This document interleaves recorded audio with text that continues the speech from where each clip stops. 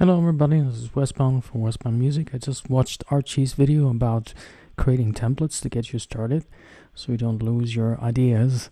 His is very um yeah, very um useful, very basic so that you can lay down some quick ideas like on a notepad almost on a audio notepad quickly.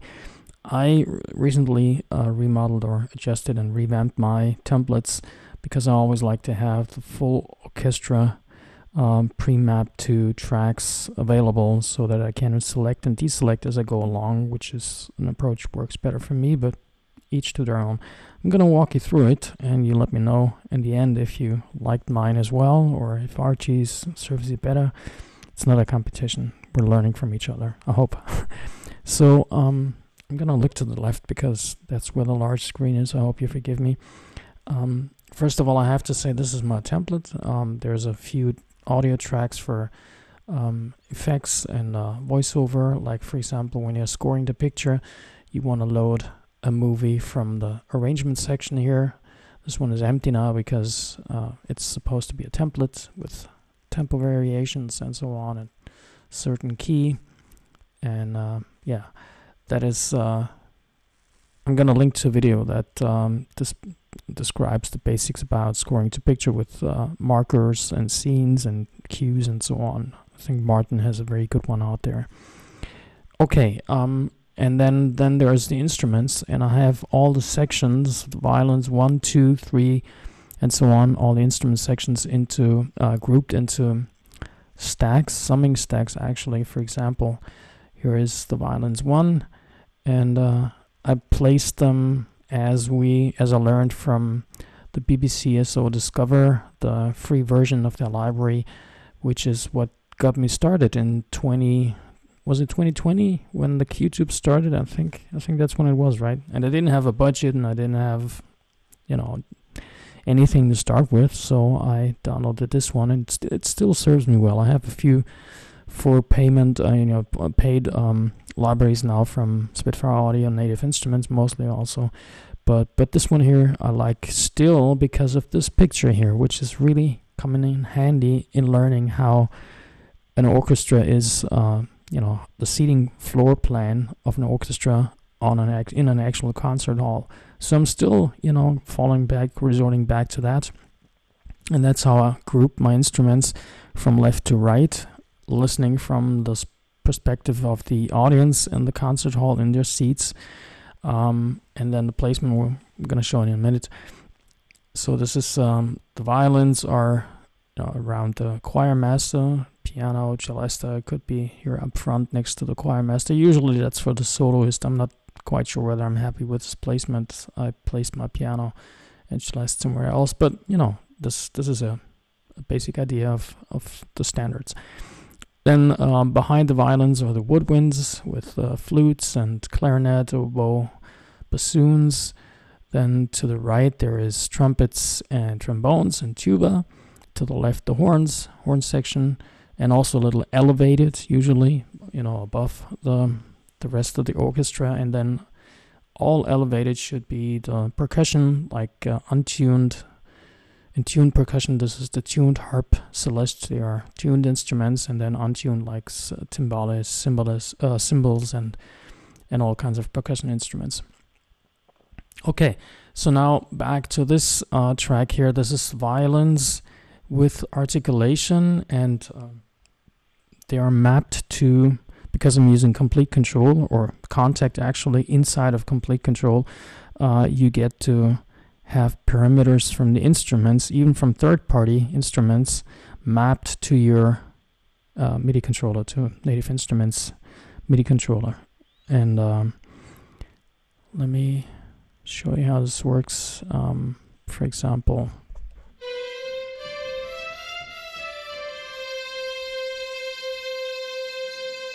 one. See that? So if I operate the second handle here, let's bring that up in bigger here.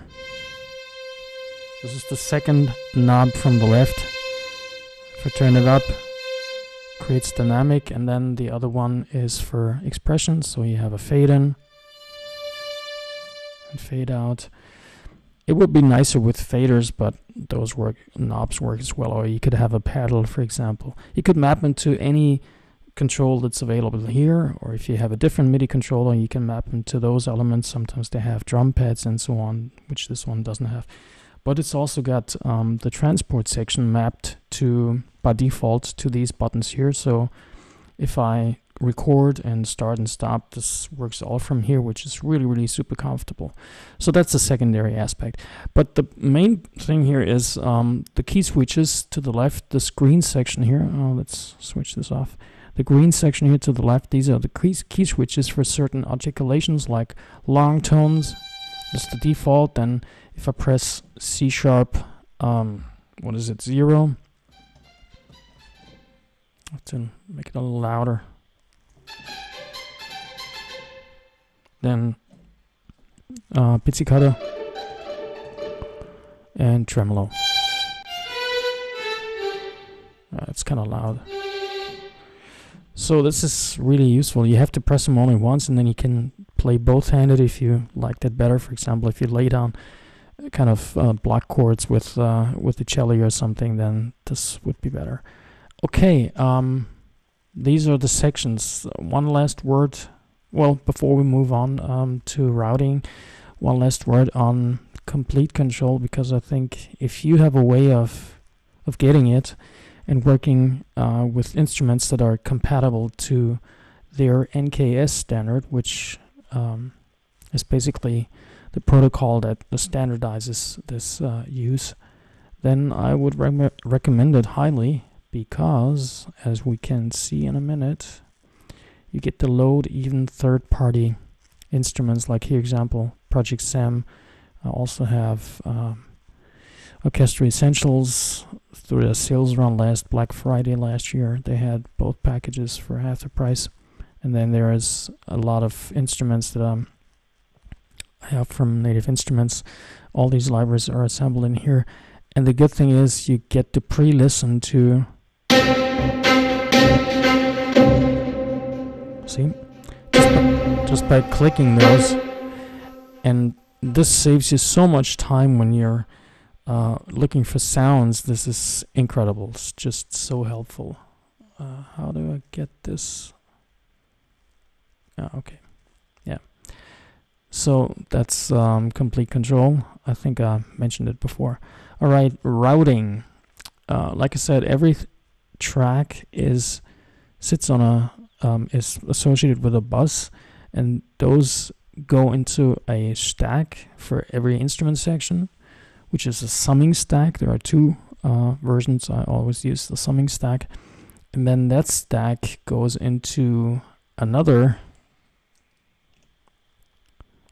um, track or auxiliary track actually, which is all the instruments assembled into one channel strip and one auxiliary strip actually so you have a kind of kill switch or if you could if you like for example wanted to automate certain parts for the entire playback where the dialogue gets really soft but music is supposed to be there then um, that helps you know in, in, in instead of ha having it on the stereo sum and needing to automate that then you have a dedicated track. Also you could use it to have some further signal processing like limiting or uh, this here is a um, like a mild compressor once more. You have to be careful not to route the dialogue and the original uh, sound effects through that that is usually not um, you know not not appreciated so make sure of that with the routing but the basic idea is like every instrument section sits on a summing stack. The summing stack goes into a dedicated auxiliary strip and that auxiliary strip goes back into the dedicated instrument output. And the instrument output then goes on the stereo out. And the stereo out is this here. I just used a uh, preset from, you know, preloaded preset from Logic, which is called classical. I augmented it with two additional channel strips for metering, which is uh, the multimeter for, you know, the analyzer analyzes the um, frequency um, range of, of the entire playback and the goniometer gives you visual feedback on the stereo panorama or uh, 5.1 if it's if it's that. So that comes in pretty nifty. Also, another plugin which I think for mastering is super useful is the gain plugin. I have it in you know loaded into this channel strip here. Uh, but not activated. If you do, then you have such nice things like convert to mono, which is, for example, if you're not scoring the picture but doing uh, pop music, then this helps a lot uh, in order to identify whether it's your your mix is gonna sound the way it's supposed to sound on on cheap um, earpieces and so, and so on. Or you could invert phase left to right and you know change around. So it's it's really helpful. Okay, I think that is basically my idea for as far as templates are concerned. Um, like I said, I like to have everything at hand all the sounds that I usually use for orchestral. This one here also offers a few um, electronic sounds with preloaded with libraries from Native Instruments, which I find super super helpful and useful for. Uh, I use them a lot, you know, for even for horror or you know what have you. And uh, I think uh, nowadays um, it's more often the case that we're moving away from classical that that is not so much requested any longer much more electronic or uh, even other genres. So anyways i hope you found this a little useful and this is just an idea what uh, what you could do. And if you did then please come back. I think i'm going to do a walkthrough through my la- latest entries at some point. I have a lot of other things going on at the moment but uh, hopefully i get to the get around to that. So this is Wesbound for Wesbound Music. Thanks for dropping by and um, appreciate my new subscribers. Thanks for Martin for running this uh, Halloween Hangover challenge. I don't stand a chance. I think the entries are so great, you know, but we're learning from each other. I hope. All right, this is Wesbound. See you soon. Bye bye.